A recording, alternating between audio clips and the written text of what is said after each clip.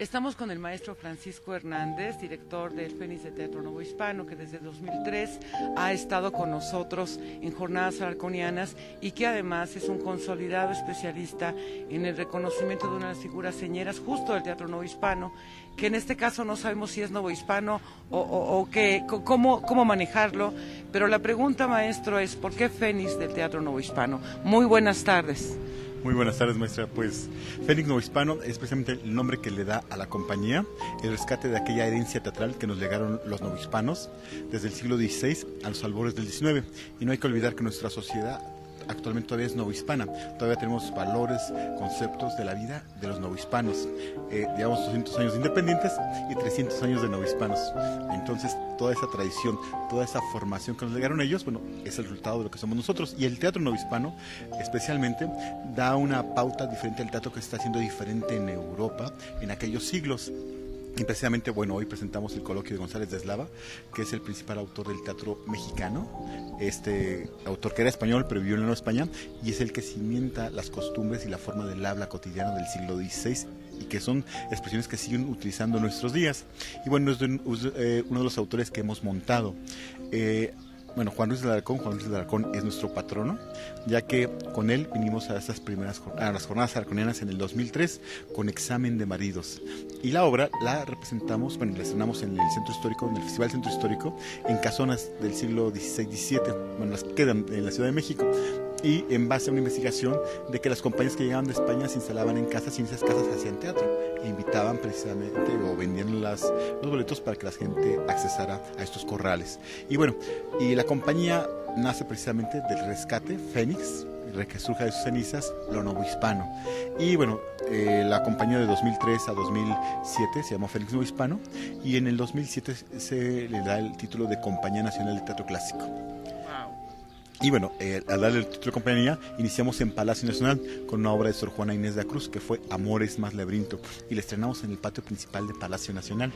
Eso fue maravilloso. Ahí se representó en 1689 la obra de Amor es más laberintos. Y tanto Sor Juana eh, como Juan Luis Alarcón son las dos imágenes o las dos figuras más importantes de la nueva hispanidad. Bueno, claro, está González de Eslava, está Don Carlos Sigüenza de Góngora, pero son ellos quienes nos dan a conocer al mundo. ¿Por qué? Porque Sor Juana sus libros se publican en España, eh, se publican en España, después nos llegan de allá, y Juan Luis Alarcón es el que nos da a conocer en el siglo XVII, no solamente, bueno, no solamente en México, sino en Francia. Molière dijo que Juan Luis era el creador de la comedia moderna. Imagínense el gran Molière diciendo esto de Juan Luis de Alarcón. Y bueno, Juan Ruiz tuvo la trascendencia que llegó hasta Italia. El Goldoni hizo una obra copiando la verdad que es El Bullardo. Y bueno, luego España, tras el siglo XIX, vuelven a rescatar sus obras. Eh, las publica completas por primera vez en 1843, se publican completas. Y otra vez vuelve la importancia de Juan Ruiz de Alarcón a la escena y al teatro. Y bueno, en México, el siglo XX, sin lugar a dudas, es el es cuando más auge ha tenido este Juan Luis Alarcón. No hay que olvidar que Bellas Artes fue inaugurado con La Verdad Sospechosa, dirigida por el maestro este, eh, Castro Leal, quien la dirigió en el Palacio de Bellas Artes. También, bueno, Juan Luis Alarcón inauguró el Gran Teatro Nacional, eh, construido por Santana en 1844, inauguró también el teatro con las paredes Oyen. Entonces, la, importancia de Juan Luis en nuestra ciudad en el teatro eh, es muy, muy importante lamentablemente no tiene la difusión y la presencia a un nivel mayor de personas y se queda en ciertos círculos literarios y teatrales ya que se necesita difundir más su obra y sentirse orgulloso de la obra que nos legó, porque como saben era contrahecho corcovado, le decían en su época cuando lo veían no sabían si iba o venía por su doble joroba, adelante y atrás, se burlaban de él, decían poeta pantorrillas, le decían sátiro de las musas, tenía una serie de motetes que Juan Luis le lastimaban seguramente. Cuando él vino a México, él, bueno, hay que mencionar que él nació en Tasco de Alarcón en el año de 1572 este, de aquí sus padres se mudan a la Ciudad de México, falta de mineral, y allá son protegidas por Alonso de la Villaseca, este gran rico platero eh, que recibió la compañía de Jesús y que los padres de Juan Luis le obsequiaron una casa, que es la casa del balcón. Bueno, Juan Luis se va a vivir a Ciudad de México con sus padres, con sus hermanos, y ahí estudia en la universidad.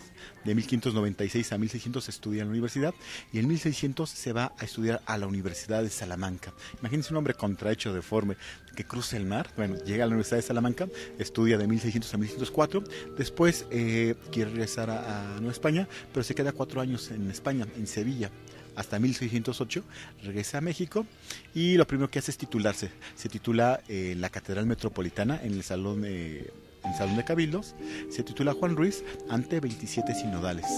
dedica su tesis a Fray García Guerra, este gran arzobispo rey erudito y sabio. Y eh, él vive en cinco años en la Ciudad de México, de 1608 a 1613. Y en esos cinco años dice, bueno, ¿qué pasa con Juan Ruiz? Juan Ruiz quiere ser maestro universitario y por su deformidad le niegan tres veces la cátedra de maestro universitario. Estando en la misma ciudad, el único trabajo que consigue es el ser juez pesquisidor y lo mandan a Veracruz a buscar a una persona que había matado a su esposa por celos. Se confiesa culpable y se lo trae de Veracruz a la Ciudad de México. Y también por ahí, eh, también otro dato, en que fue cobrador de la alcabala del pulque. Bueno, para este, para este hombre, para este conocimiento, bueno, esos trabajos no llenaron sus expectativas y en el año de 1613 decide regresar a España y quedarse para siempre. Juan Luis Larcón es cuando escribe su mayor obra y sobre todo esta gran obra que fue La verdad sospechosa que le ha dado vuelta a toda la literatura universal, teatral y que más ha influenciado a los escritores. Vive allá, él muere en el año de 1639 en Madrid, vive honrosamente, muere honrosamente, muere consciente, hace un gran hace su testamento de quién le debe, a quién le debe, muere con un apartamento, una casa, con un carruaje con un carruaje con herrajes de plata, tiene dinero y muere conscientemente. En su testamento no dice nada de teatro, no menciona nada de teatro lamentablemente. Habla de sus padres, de don Pedro y de don Leonor Luis Alarcón, este, quienes van a decir este, más de mil misas, paga mil misas. Y Juan Luis Alarcón muere en Madrid y es enterrado en la iglesia de San Sebastián, una iglesia preciosa dedicada a este santo precisamente del siglo III después de Cristo. Y esta iglesia, en la guerra civil española, en 39 es bombardeada y destruida la mitad de la iglesia. Y ahí descansan sus restos, junto a los de Lope de Vega, junto a otros grandes autores del siglo de oro. Y eh, Juan Luis Alarcón, bueno, diremos que ahí quedó su obra, pero como sabemos trascendió y le hacen un gran homenaje en Tasco de Arcón, en las jornadas arconianas, a algo que lleva su título, su nombre, que me parece majestuoso y maravilloso. Y me gustaría más que todas las jornadas tuvieran esa presencia como el Festival Cervantino, hacemos un homenaje a Cervantes. Claro, pues es el padre de alguna manera de la lengua española y todas sus ideas de Cervantes nos llegaron a la Nueva España.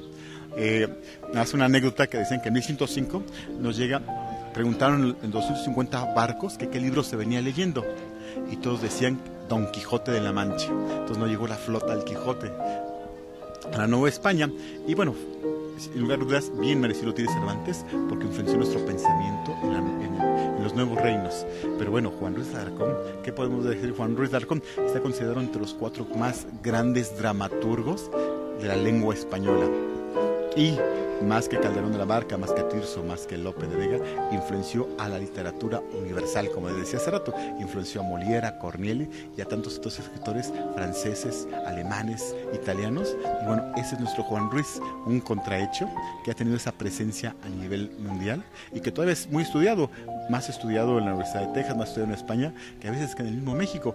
Han surgido mentes brillantes como Margarita Peña, la maestra Revueltas, la maestra Dolores Bravo, y bueno, a la Torre y tantos otros maestros que han rescatado la figura y la presencia y la importancia de Juan Luis Larcón, que creo que bueno, las jornadas es también lo que creo que busca también rescatar esta imagen que es universal.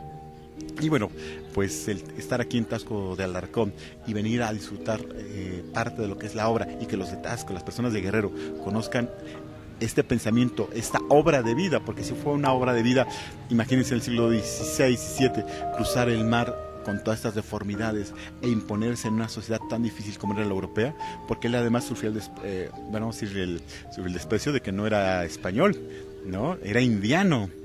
No todavía los eh, españoles del exilio decían que Juan Ruiz solamente tenía de mexicano lo, lo amable, ¿no?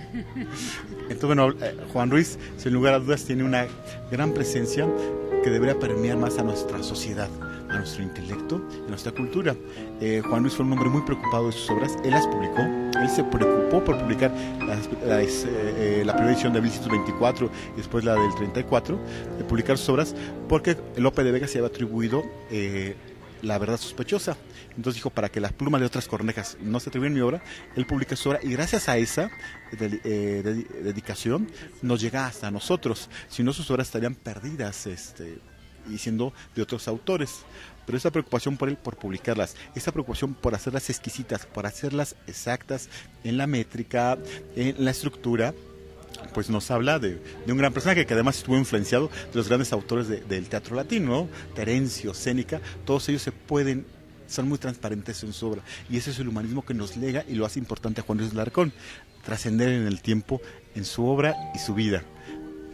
Menos es algo breve sobre Juan Luis Larcón, Maestro, todo un lujo, de verdad nosotros, yo, yo agradezco muchísimo esta deferencia que nos tiene a Tasco TV y a todo el auditorio para eh, compartir esto. Yo creo que cuando nosotros recibamos una invitación para estar en una conferencia, en un curso del maestro Francisco Hernández, debemos acudir, debemos estar y hoy y, y, muchas veces hay que disfrutar el teatro que dirige porque créanme, es toda una experiencia. Al maestro lo pueden encontrar todavía todos los miércoles en la Catedral Metropolitana dirigiendo Voces de la Catedral, que es una maravilla. Si está usted en el DF y anda cerca del centro histórico, vaya, vaya y disfrute de este derroche de talento y de energía que es revivir y, mostrarnos qué es el teatro novohispano.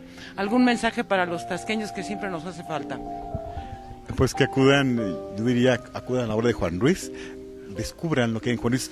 Sin lugar a dudas, para un primer lector no es fácil confrontar la obra de Juan Luis, pero lo importante es irlo descifrando, irle encontrando ese hilo para poderlo disfrutar y poder trascender nuestro pensamiento y poderlo disfrutar y decir uno, fue una persona que anduvo en estos parajes, anduvo en estas calles, en estas plazas y su presencia es importante todavía en Alarcón, aunque nada más tenga el título de Jonás Alconanes o Tasco de Alarcón, pero su presencia está en todos nuestros edificios barrocos, en toda nuestra intelectualidad. Y bueno, en Santa Prisca hay una pintura eh, que hace referencia al que no es como era Juan Ruiz, pero sin lugar a dudas está ahí el patrono mayor de Tasco de Alarcón. Maestro, muchísimas gracias, le agradecemos muchísimo. Muchas gracias a todos ustedes. Buenas tardes.